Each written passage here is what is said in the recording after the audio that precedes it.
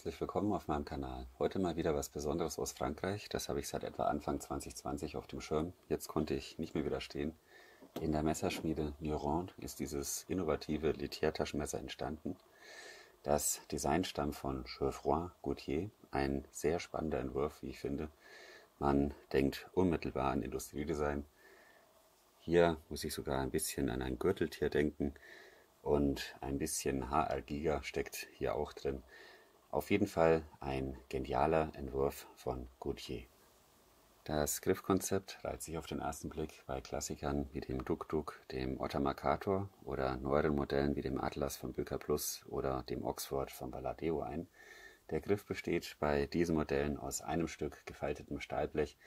Beim Lurand wurde sich hier für den X20 CR13 entschieden, besser bekannt als IC420.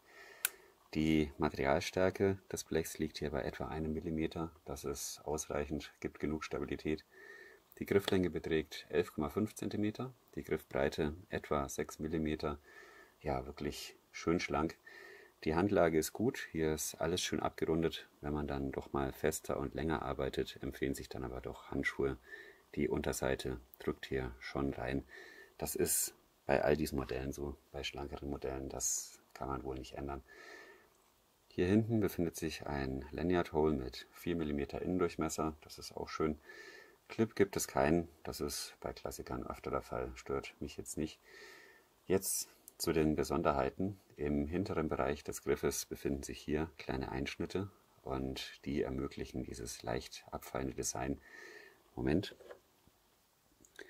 Ich finde das wirklich schön gemacht. Also man kann hier durchleuchten. Ich kenne kein einziges Messer, wo man sowas schon mal gesehen hat. Ja, dann gibt es hier noch etwas sehr Bemerkenswertes. Wir haben einen integralen Backlog bzw. Midlock. Man sieht hier das Gelenk und das hier ist die Feder. Man kann dann erkennen, wenn man hier so drauf drückt, löst sich die Klinge, man kann sie einklappen und das ist wirklich einzigartig gemacht. Also es gibt hier kein seitliches Spiel, kein Auf- und Abspiel. Wir haben hier gerade mal insgesamt fünf Teile bei dem Messer, also zwei Washer, dann die Klingenachse, den Griff und die Klinge. Und hieraus dann einen funktionierenden Backlog zu zaubern, das ist wirklich genial, kann man nicht anders sagen. Also definitiv eine Meisterleistung. Das ist, kann es nicht anders sagen, ich wiederhole mich, eine geniale Konstruktion. Kommen wir zur Klinge Normalform, also Rückenspitz, Klingenbreite 3 mm, Klingenhöhe 20 mm, Klingenlänge effektiv 90 mm. Wir haben hier einen sehr fein ausgeführten Flachschliff, der wurde komplett hochgezogen, läuft auf schneidfreudige 0,3 mm hinter der Schneidphase aus. Also ein wirklich sehr guter Wert. Klingenstahl ist der 14C 28N, gehärtet auf 59 bis 60 HAC. Für mich ist das einer der besten rostrigen Budgetstähle, die es gibt. Hier ist noch eine kleine Schleifkabe. Das Klingenfinish ist satiniert. Es gibt keinen Nagelhau. Das finde ich wirklich mal sehr schön. Man öffnet das Messer über den Pinch Grip. Wir haben hier im Griff eine konkave Ausformung. Das heißt, man kann den Klingenrücken wirklich schön greifen. Die Klingenbeschriftung ist jetzt nicht so klein, dafür aber sehr ästhetisch. Le Tiers par Lirand in einer schönen Schrift. An der Klingenwurzel steht noch US PAD 10 710 253. Das ist ein Patenthinweis auf den von Gautier erfundenen integralen Backlog bzw. Midlock. Der wurde ja hier aus dem Stahlblech rausgelasert, also wirklich gut gemacht. Eine ausgeklügelte Konstruktion, das gab es so vorher noch nicht. Ansonsten läuft die Klinge auf Bronzewaschern. Das kann man hier erahnen. Ja, die wären vielleicht gar nicht unbedingt nötig gewesen. Mit diesen Waschern besteht das Messer, wie vorhin schon mal erwähnt, aus fünf Bauteilen. Ohne wären es drei. Das ist so oder so sehr minimalistisch. Die Vernietung der Klingenachse geschieht noch in Handarbeit. Man kann hier die Hammerschläge noch erkennen. Also das ist auch eine schöne Sache. Ja, insgesamt ist das eine sehr, sehr elegante Linienführung, sowohl im geöffneten als auch im geschlossenen Zustand. Also gefällt mir außerordentlich gut. Zu erwähnen wäre noch das Gewicht. Wir liegen hier gerade mal bei etwa 52 Gramm. Für ein Messer in dieser Größe ist das ein erstaunlicher Wert.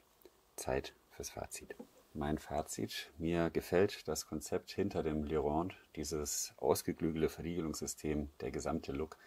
Das Lurand gibt es mit etlichen Grifffarben. Hier wurde ein leicht strukturierter Epoxylack aufgebracht. Das ist eine angenehme Haptik. Es gibt auch eine unbehandelte bzw. unlackierte Griffvariante.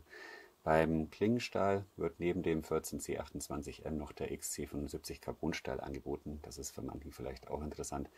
Die Verarbeitungsqualität ist etwas rau. Man sieht es hier in der Spiegelung bei der Klinge. Ja, aber dennoch, es ist alles extrem passgenau gearbeitet. Man darf nicht vergessen, hier steckt auch einiges an Handarbeit drin. Also wirklich ein tolles Messer. Die Verpackung möchte ich euch auch ganz kurz zeigen. Einfach eine Art simpler Umschlag aus Pappe.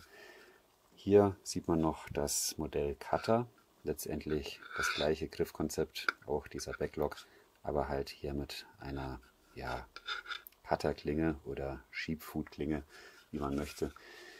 Zum Preis, das Lurand kostet etwa 48 Euro. Das Modell Cutter liegt, glaube ich, etwa bei 60 Euro. Ja, was soll man sagen? Das ist wieder ein besonderes und ungewöhnliches Messer, ein wirklich geniales Messer aus Frankreich. Da gibt es so viele. Also da muss man wirklich sagen, Frankreich und Messer, das ist, passt einfach sehr gut zusammen. Ja, das war es dann auch schon. Vielen Dank für eure Aufmerksamkeit. Alles Gute, bleibt gesund. Bis zum nächsten Mal.